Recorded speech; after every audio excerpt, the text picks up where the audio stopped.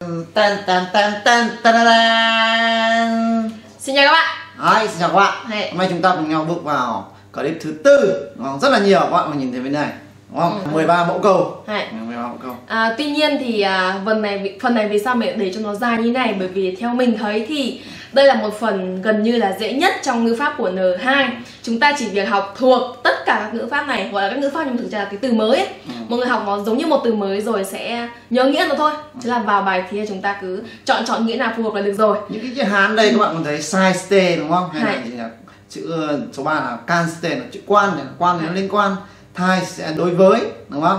O, o câu số 6 OGT là chữ ứng thể ứng với cái gì đó đúng không? Kuda VT là chữ gì nhỉ? À, so sánh đúng không? Ừ. Đấy. Nên là tất cả đằng trước nó sẽ là trợ từ ní cái là trợ từ ní nhá mẫu câu này là ní là là ní VT đấy. Ừ. Thực ra về mảng này mình sẽ chia làm Thực ra nó dài hơn rất là nhiều nữa Còn đến tầm à, 25 đến 30 cái cơ Ừ. Nhưng mà mình sẽ chia đôi như này Thì hôm nay chúng ta clip số 4 chúng ta học một nửa Còn sang clip số 5 chúng ta sẽ đi nốt Còn lại những cái dạng từ mà có động từ đứng ở giữa Giống đóng vai trò như một à, ngữ pháp nhé Ừ. Hay thì vào cái đầu tiên ok cái đầu tiên này Ừ. Đầu tiên thì là cách sử dụng đầu tiên là danh từ hoặc là vê đự cộng ní sai tê hoặc là ní atate. Ừ. Hai cái từ này cùng mang một nghĩa giống nhau đó là nhân dịp hay là khi thế nào thế nào đó. Và đặc biệt cái này thường nói trong các sự kiện nào đó nhé. ok Hay, câu thứ nhất お別れに際してhay. 一言ご挨拶申し上げます Vâng, tôi xin phép được gửi một vài lời chào hỏi đúng không? Một vài lời đến à nhân dịp, nhân dịp và chúng ta sẽ chia tay như này, nhân dịp chia tay này. tiếp theo câu số 2 お二人の門出に当たりまして Hay. お祝いの言葉を申し上げます Mọi người thấy có gì điều gì đặc biệt trong trường hợp này không? Bình thường là atate đúng không? Nhưng mà trong ngữ pháp N3 mình có một lần gặp rồi đấy, đó là gì nhỉ? Atarimaste như thế này nó sẽ lịch sự hơn là atate rất là nhiều với cơ bản thì nghĩa vẫn giống nhau. Thì có một từ mới là kadode. Các bạn có biết từ kadode này là gì không nhỉ? Thấy biết không? Đây á, Ừ. cái đầu đây là ờ, một trang sử mới à một ngưỡng cửa mới Ngưỡng cuộc cửa đời mới. nào đó đúng không? Thì mình sẽ tưởng tượng câu này chúng ta sẽ nói ở trong à, phát biểu lễ đám cưới là gì nhỉ? Ừ. À, à tớ xin được một gửi một vài lời chúc mừng nhân dịp à, hai bạn bước sang một ngưỡng cửa mới của cuộc đời. Được chưa nhỉ? Ok. Hay. はい、câu số 3留学するにあたってはい必要な書類を Zulmista Hai, câu này chúng ta dịch bình thường không? Tôi đã chuẩn bị những cái tài liệu cần thiết khi Mà nghĩa là khi nhá. Khi đi uh, đi đâu nhỉ? Đi uh, du học này. Khi đi du học. Trong phần 1 này thì mình còn một lưu ý nhỏ về sai nữa. Nó dùng như một danh từ và giống như cái từ Toki đấy. Ừ. À, Cách kết hợp là vê đự, vê tạ hoặc danh từ no Có thể thêm sai, à, thêm sai ní ừ. Và bên dưới cũng một cách dùng giống giống bên trên là danh từ ní sai ste Thì trong trường hợp này chúng ta không dịch là nhân dịp gì đó Mà chỉ dịch đơn thuần là gì nhỉ? Khi hay là gì nhỉ? Nếu thế nào thế nào đó để giải Ok. thích nhá Okay. câu thứ nhất入学手続きの際に必要なものは以下の通り Ừ. Mình sẽ gặp cái câu này ở trong các văn bản hướng dẫn như sau ạ à, Những cái thứ mà cần khi các bạn làm thủ tục nhập học thì nó sẽ được ghi ở bên dưới đây này. はいcâu 2 Hay. 目上の人と話す際には言葉だけでなく thái độ ni mộ kiyochikete kudasai. Ờ, các bạn hãy chú ý gì nhở? À, chú ý khi mà gì nói chuyện với những người trên thì không chỉ à, phải chú ý về ngôn ngữ mà còn phải chú ý về cả thái độ của bản thân nữa. Ừ. Kosoba, sore no teisutsu ni saishite wa kigen o mamotte kudasai. À, ờ, khi hay là trong trường hợp mà gì nhỉ nộp à, xuất trình hay là nộp gì là nộp tài liệu thì hãy chú ý về cái gì đây? Về cái um, thời hạn của nó đúng không? Kỳ ghèn đấy. Nhé hãy chúng ta bước vào mẫu thứ hai. Mẫu thứ hai là ní watate danh từ ní watate nhá. Ní watate. Ní watate. Ừ. okay. cái này là liên quan đến trải suốt hay là trải khắp nó trên một phạm vi phạm vi hay là không gian gì đó. Ừ. okay. hay là nó kéo trong dài trong suốt một khoảng thời gian nào đó. Ừ. hay ví dụ một cái thứ nhất konoken 水質汚染の調査を10年にわたって続けてきました à, nhóm nghiên cứu này đã gì đấy nhỉ đã à, duy trì hay là ừ, duy trì việc à, nghiên cứu việc điều tra về vấn đề ô nhiễm nước trong suốt 10 năm rồi kéo dài suốt 10 năm rồi Suốt nhá 10nămですね Hay. câu số 2台風により町のほぼ全体にわたってうん被害が出た、 ừ. do bão mà gì đấy nhỉ mà à, trên khắp diện rộng trên toàn thành phố thì đã đều à, à, phải hứng chịu những cái thiệt hại うんねxuất hiện bị Hay. thiệt hại đúng không Ừ. Hay. はい、câu số 3東京から静岡に渡って地震がありました Ờ, chúng ta hay đi một cặp ở Kara Niwatate nhá à, Câu này có nghĩa là gì nhỉ? Trải suốt từ vùng Tokyo cho đến vùng Shizuoka thì đã có xảy ra động đất Nè Ừ, hay, Và sang ngữ pháp số 3 là danh từ Nikanshite hoặc là cách dùng khác là danh từ 1 Nikansuru Danh Ừ. từ 2 mình sẽ dịch là gì cả liên quan bởi Hay. vì chữ hán của nó cũng là chữ quan mà. Hay. ok hay là về vấn đề gì đó. Ok. Ừ. trong câu thứ nhất chúng ta có thể nhìn thấy chữ công cai lần này và di kèn. Di kèn thì các bạn thường nghĩ nó là sự kiện bởi vì âm ấn việt của nó là sự kiện. Tuy nhiên không thể dịch nó là sự kiện được mà phải nhớ nó. Có hai nghĩa sau đây một là vụ việc hai có nghĩa là vụ án nhớ chưa hay chúng ta đọc là công cai no jiken ni kanshite nanika kumashikoto ga wakarimashita ka Không biết là anh chị có một chút thông tin chi tiết gì liên quan đến vụ việc lần này không nhỉ? うん、はい コスワイここには日本語能力試験に関することが詳しく書いてある Ừ, câu này chúng ta dịch là gì? Ở đây thì có ghi một cách rất cụ thể những thông tin mà liên quan đến kỳ thi năng lực tiếng Nhật. すごいはいはいコスバ 日程など試合に関する情報はホームページをご覧ください À, mình sẽ dịch là như sau ạ? Chúng ta nhìn từ đứng trước chủ ngữ trước này. Những thông tin mà liên quan về trận đấu chẳng hạn như là chẳng hạn như là về lịch trình chẳng hạn thì xin mời các bạn hãy xem ở trên trang chung. オッ はい はい Ok, rất là dễ đúng không? tiếp chúng ta sang ngữ pháp thứ tư ừ. đó là về danh từ ní tai tệ hoặc là danh từ một ní tai tệ có nghĩa là âm tiếng việt là gì nhỉ? À, đối. Đối đúng không? Ừ. là đối với cái gì đó thôi. Hay. đơn giản đúng ừ. không? Ừ. thứ nhất mele no hito ni tai tệ sonna rambo na ikata o shite wa ikemasen. Ừ câu này chúng ta sẽ dịch là à, tuyệt đối về tiểu cái masen nhé tuyệt đối không được ăn nói hay là nói những cái cách nói mà vô cùng vô lễ đối với người trên đấy 乱暴kiểu như là sỗ sàng à, sỗ sàng vô lễ đúng không Ừ, Đấy. đúng người trên câu số 2外国人に対してこの国はどんなサポートをするか Ờ, đối với người nước ngoài thì à, cái đất nước này có đang tiến hành những cái chương trình hỗ trợ gì đây nhỉ? うん Ừ. はいcâu số 3子供に対する親の愛情はいつの時代でも変わらない So this này. Đấy, câu này chúng ta sẽ dịch là à, cái tình yêu thương aijo là tình yêu thương nhá. Tình yêu thương của bố mẹ đối với con cái thì ở thời đại nào đi chăng nữa cũng sẽ không thay đổi. うん ok Đấy. bài này dễ rồi đúng không Hay. ừ. tiếp Số theo năm. số 5 đó là ni oite hay là ni ok được ok Ừ. ni ok được thì đứng đằng sau nó sẽ là một danh từ gì đó Ừ Mình sẽ dịch câu này có nghĩa là bằng với đế nhá, ở địa điểm trong tình huống trong hoàn cảnh nào đó hay là về mặt về một lĩnh vực nào đó thì thế nào thế nào đó. Hay. OK câu thứ nhất入学式は3階のホールにおいて行われます Ờ, câu này mình sẽ dịch là à, cái kỳ thi à đâu, Lễ không phải nhập cái học. lễ nhập học thì sẽ được tổ chức ở à, s- hội trường tầng 3 ừ.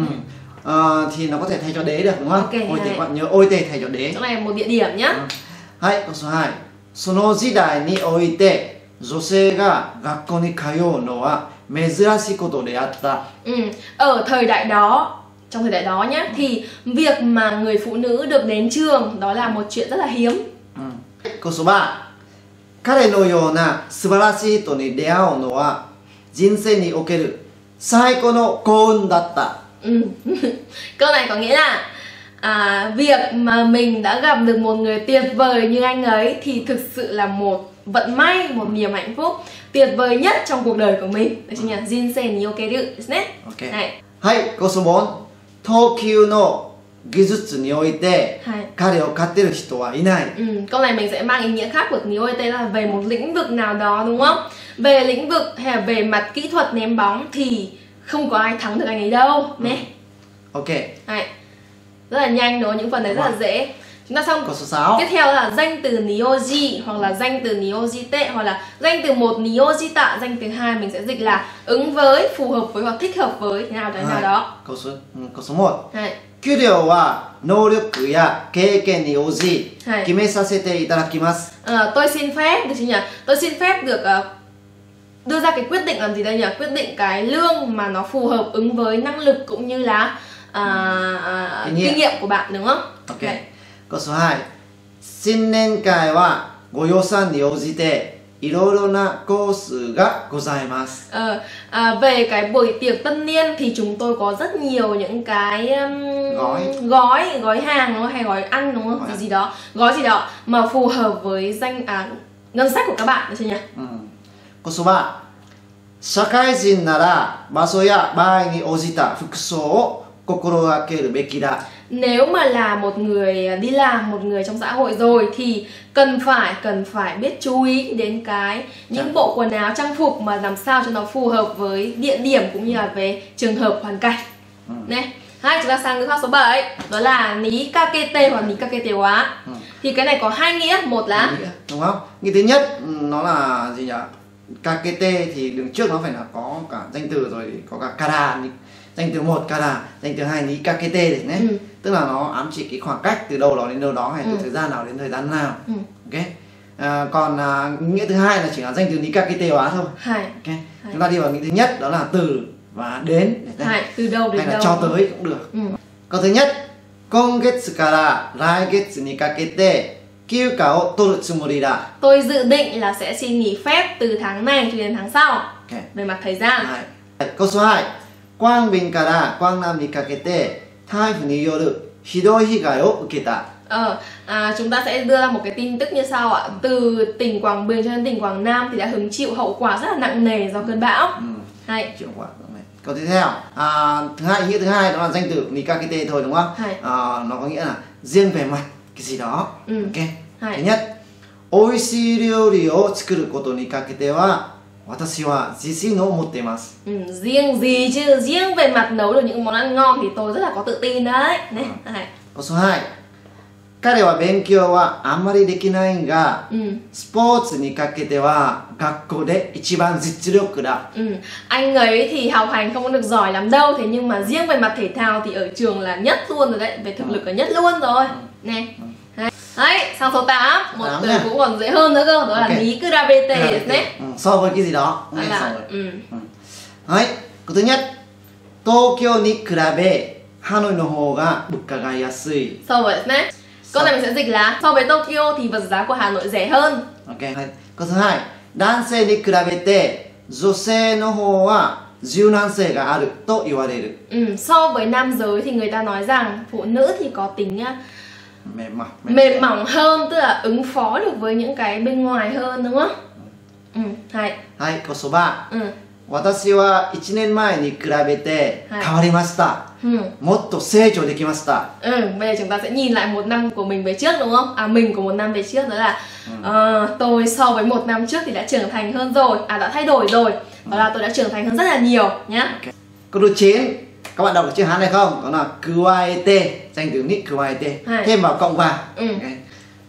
À, mình có thể dịch cả không chỉ danh từ này mà còn thì kia nhá. À. Câu thứ nhất, hageshii kaze ni kuaete ame mo hiroku natte kimashita. Ừ. À, thêm vào hay là không chỉ thì đây nhỉ, không chỉ gió cũng rất là mạnh mà mà mưa, cũng, cũng trở nên kinh khủng rất là nhiều đấy. Ok. Câu thứ hai, ano hito wa 子供の誕生に加えて Hai. 仕事も順調に進み幸せでいっぱいの毎日を送っている Ừ, hai người đó nhá về hai vợ chồng này hai vợ chồng thì gì nhỉ thêm vào cái việc hay là à, con cái họ sinh ra rồi tức là con cái họ sinh ra bây giờ gì nhỉ bây giờ công việc của họ cũng tiến triển rất là tốt thế nên là họ sống mỗi ngày với đầy hạnh phúc của mình đấy chứ nhỉ sống mỗi ngày mà tràn đầy hạnh phúc nha OK 言葉 今の時代人気がある女性になるには ừ. 仕事能力に加えて性格や外見も必要になる Ừ. Trong thời đại bây giờ thì để trở thành một người phụ nữ mà được mọi người yêu quý thì thì gì đây nhỉ? Thì sẽ cần thiết không chỉ là về năng lực về trong công việc mà còn cần thêm cả về mặt tính cách cũng như là về cái ngoại hình nữa cơ. Này. Ok. Hay. Ok, chúng ta sang cái khoa số 10 là danh Số từ ní cô tay tê. Nikotaete. Ừ. Ok. Ừm, đáp ứng à đáp ứng hay là trả lời cái nguyện vọng của ai đó Ừ, mình sẽ dịch là đáp lại cái danh từ này Ok. những cái danh từ này thường là những cái từ mang ý nghĩa ví dụ như là hy vọng nguyện vọng hay yêu cầu hay là ý kiến của ai của ai đó Câu nhá nói đúng không はいはいcâu thứ nhất 両親の期待に応えて入学試験に合格した Ờ, tôi đã đỗ được à, kỳ thi trong trường à, à, kỳ thi vào trường học Ừ. đáp lại sự kỳ vọng của bố mẹ Đấy, câu số 2リスクエットに応えて 新しい商品を販売します Ờ, đáp lại những cái yêu cầu của khách hàng chẳng hạn thì chúng tôi đã quyết định là bán ra những sản phẩm mới はい。câu số 11 đó là gì đây? Danh từ cộng ní sakidatte hay là sakidachi được đúng không ừ. mình sẽ dịch là trước khi tiến hành cái danh từ Ừ, này trước khi thì tiến thế nào hành. thế nào đó ừ, như kiểu là về tự mại lý đúng Hay, không hay. gần giống như thế cái thứ nhất restaurant no kaiten ni sakidatte uh, shishoku kai ga hirakareta Ờ, trước khi mở cửa hàng thì thì gì đấy nhỉ thì cái buổi buổi nếm thử đồ ăn ấy đã được tổ chức ra đấy うんsố 2実験に先立ちチェックを行った、 chúng tôi đã tiến hành kiểm tra trước khi bắt đầu thử nghiệm うん、số 3授業に先立って先生の紹介があった、 ừ, trước khi bắt đầu giờ học thì đã có một bài giới thiệu của cô giáo うん、 Đấy, cái này dễ rồi nhá dễ rồi nhé ok và hai cái cuối cùng bọn mình sẽ xoay quanh một là ní kakawarazu và ní mốt kakawarazu thì nó khác nhau ở điểm gì chúng ta sẽ đi vào từng cái một. Đầu tiên là danh từ hoặc là veru cộng với venai cộng với ní mốt kakawarazu mình sẽ dịch là? Dịch là không phân biệt hay là bất kể hay là cho dù Ừ. ok? Có một điều đặc biệt là đi với ní kakawarazu thì đứng trước nó thường là những cái danh từ hoặc là những cái tính từ mang tính chất đối lập nhau nhé À, ví dụ như là aru nashi nghĩa là có hay không はい好き嫌いですね、 à, sẽ là thích hay là không thích chứ nhỉ? はい、いい悪い悪 Nghĩa là- いですね Ờ, được 善 nhỉ? 悪 OK、 Ừ. Hay là về thử bên ai rồi mọi người nhá. Hay câu số 1 nào. はい、ご存nhất今回のコンテストは年齢や性別にかかわらずどなたでも参加できます Ừ. À, cuộc thi lần này thì gì nhỉ? Thì không phân biệt là tuổi tác cũng như là giới tính thì bất kỳ ai cũng có thể tham gia được. うん、もう一回簡単だよ はい、ごそはい成功するしないにかかわらず、うん努力することに意義があると思 Hay, tôi nghĩ rằng à, cho dù chúng ta có thành công hay không thành công thì ý nghĩa hay là mọi thứ nó sẽ nằm ở việc chúng ta đã nỗ lực như thế nào. Đấy. ok. Hay. うごそば両親が賛成するかしないかにかかわらず彼女と結婚します Hay. Câu số 3 mình sẽ dịch là gì nhỉ? Tôi, tôi cũng thầy Dũng về bảo Dù bố mẹ có đồng ý hay không đồng ý Thì thì tôi vẫn sẽ kết hôn với cô đấy Đấy. Ok. Đấy. Và tiếp theo cuối cùng đó là ní mốt kakawarazu Thì như mình vừa nói thì nó chỉ mang ý nghĩa là gì nhỉ? Hơi khác bên trên một chút là gì nhỉ? Mang nghĩa là bất chấp hay cho dù tình thế nó có như thế nào thì vẫn thế này thế này đó Nó sẽ ít phải đi với những cái cặp từ mang nghĩa đối ngược nhau như bên trên nhá Hay, chị bạn 一番あれだけ努力したにもかかわらず、Ừ. 全て失敗に終わってしまった Ờ, mặc dù tôi đã cố gắng đến mức như thế rồi được chưa nhỉ? Mặc dù tôi đã cố gắng đến mức như thế rồi thì cuối cùng mình đã vẫn tất cả mọi thứ vẫn kết thúc ở trong thất bại nhé. こそはい、Ừ. うん授業中にもかかわらず学生がおしゃべりしたり携帯電話でメールしたりしている Ờ, câu này mình sẽ dịch là gì nhỉ? à, bất chấp hay là mặc dù vẫn đang trong giờ học nhưng bọn học sinh nó vẫn nói chuyện vẫn gì đây nhỉ vẫn uh, gửi tin nhắn bằng điện thoại cho nhau đúng không? Okay. Hai, câu số 3. Số 3. Tsuma wa shinjitsu o gataranakatta. Ừ. Sore ni mo kawarazu. Otto wa jimun no shi ga chikai koto o shitteita. Ờ, mặc dù nhá à, à này mình sẽ đứng ở giữa đúng không? Sore ni mo kakawarazu ừ. ờ, bà vợ thì không có kể ra sự thật nhưng mà dẫu vậy cho dù là vậy thì ông chồng vẫn cứ biết được sự thật rằng mình sắp đến cái chết rồi, mình sắp chết rồi. Này, cái chuyện đang cận kề à, cái chết đang cận kề rồi. Đấy. Cuối cùng bọn mình sẽ Này. tổng hợp lại một chút về 13 ngữ pháp của ngày hôm nay.